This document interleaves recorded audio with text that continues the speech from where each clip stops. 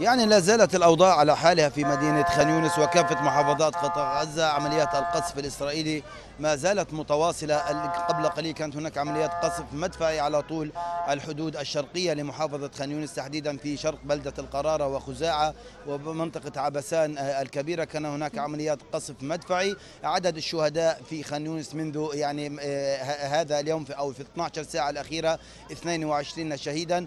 وأيضا هناك 60 إصابة وصلت إلى مجمع ناصر الطبي. عدد كبير من الإصابات هي إصابات خطيرة فيما لا تزال يعني عمليات القصف الإسرائيلي متواصلة على مناطق مختلفة من خان يونس وتحديدا كان قبل قليل عمليات قصف لأراضي زراعية في مدينة غزة على وجه التحديد كانت هناك عمليات قصف عنيفة لعدد من منازل المواطنين بالإضافة إلى استهداف مدرسة تأوي نازحين هذه المدرسة التي تقع في منطقة حي الزيتون بحسب المصادر الطبية أيضا.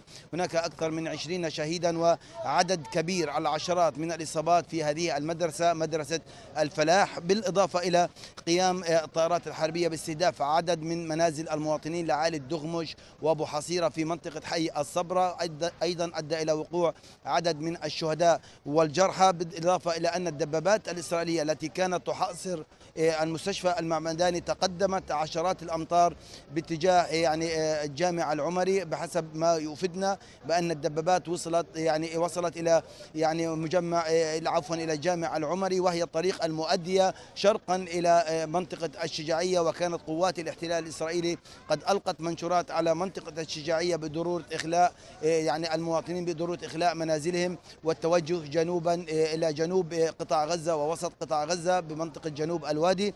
ثم أغارت الطائرات الإسرائيلية على منزل في منطقة عسقولة وهي المنطقة الجنوبية من مستشفى المعمداني. هذا القصف أدى أيضا إلى وقوع عدد من الشهداء والجرحى.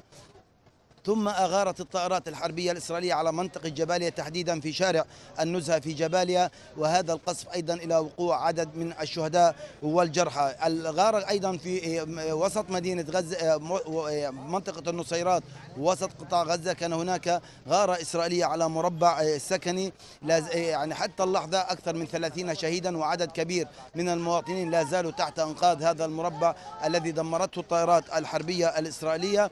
أيضا يعني بحسب المصادر الطبية تقول أن هناك 200 جريح هم معرضون للموت لأن هؤلاء الجرحى بحاجة ماسة إلى إجراء عمليات جراحية وهذا ليس بالإمكان الآن إجراء عمليات جراحية لهؤلاء الجرحى وبالتالي هم معرضون للموت نتيجة تضاعفات يعني مضاعفات الإصابة خاصة وأن جزء كبير من هذه الإصابات هي إصابات خطرة. هناك بتر في الأطراف السفلية والعلوية وبالتالي يعني يخشى أن يتعرض هؤلاء المصابين إلى حالة من الموت بالإضافة إلى أن وكما قال الدكتور محمد أبو سلمية رئيس مجمع الشفاء الطبي عندما قال أن كل المصابين الذين يعانون من إصابات أو هم بحاجة إلى عمليات جراحية في والذين وصلوا إلى المستشفى الإندونيسي اليوم هم معرضون للموت لأن مستشفى الإندونيسي يعني غير قادر على إجراء مثل هذه العمليات الجراحية وهو بسبب قلة الإمكانات وأن كل الإصابات التي كانت تصل إلى يعني تقع في شمال قطاع غزة في مدينة غزة شرقها جنوبها غربها. العمليات الجراحية تتم في في مجمع الشفاء الطبي وأصبح مجمع الشفاء الطبي والمستشفى المعمداني هم تحت الحصار الإسرائيلي وحصار الدبابات الإسرائيلية بالإضافة إلى تدمير معدات الطبية اللازمة في يعني اللازمة لإجراء العمليات وإجراء الصور المقطعية للجرحى. هي تدمرت بصورة كبيرة وأصبح المجمع الطبي الأكبر في قطاع غزة خارج يعني الخدمة ولا يستطيع تقديم الخدمات للجرحى. أيضا جنوبا في رفح لا زالت الغارات الإسرائيلية متواصلة. هناك كان عملية قصف لمنزل لعائلة الأخرس في مخيم الشبورة.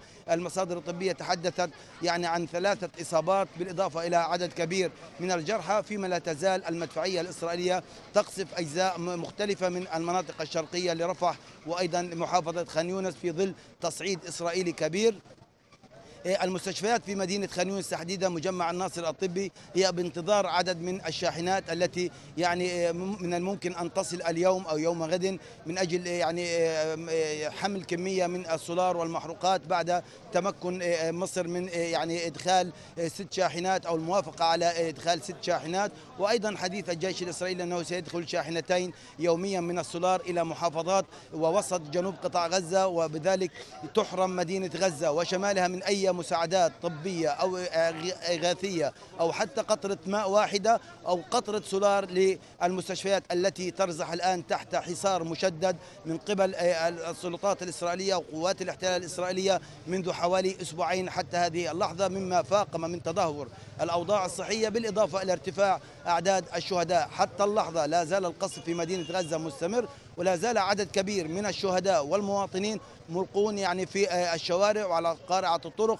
بالإضافة إلى عدد من الإصابات التي لا زالت تحت أنقاض المنازل التي تدمرها الطائرات الحربية الإسرائيلية في أكثر من مكان. تل الهوى حي الزيتون حي الصبرة الشيخ رضوان وأيضا حي الرمال وحي النصر الذي أيضا تدور به اشتباكات عنيفة بين المقاتلين الفلسطينيين وقوات الاحتلال الإسرائيلية المتوغلة. الدبابات الإسرائيلية على مبد على ما يبدو تحاول أن تتقدم باتجاه منطقة الشجاعية خاصة بعد التحذيرات التي أطلقتها القوات الإسرائيلية بضرورة إخلاء حي الشجاعية من المواطنين وهذه التحذيرات أيضا تنطبق على منطقة القرارة خزاعة عبسان الكبيرة وعبسان الصغيرة بالإضافة إلى منطقة الفخاري والتي طلبتها إسرائيل قبل يومين بضرورة إخلاء هذه المنازل وإخلاء هذه المنطقة. ربما يكون هناك عمليات توغل للدبابات الإسرائيلية في تلك المناطق وبالتالي تكون إسرائيل يعني القوات الإسرائيلية يعني تحاول أن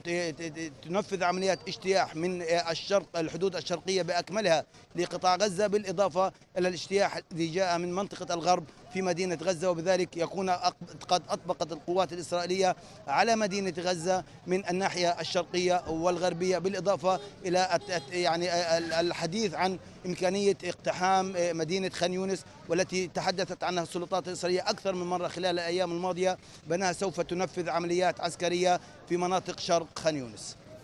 شكرا لك إبراهيم قنن مراسل الغد كنت معنا من خان يونس.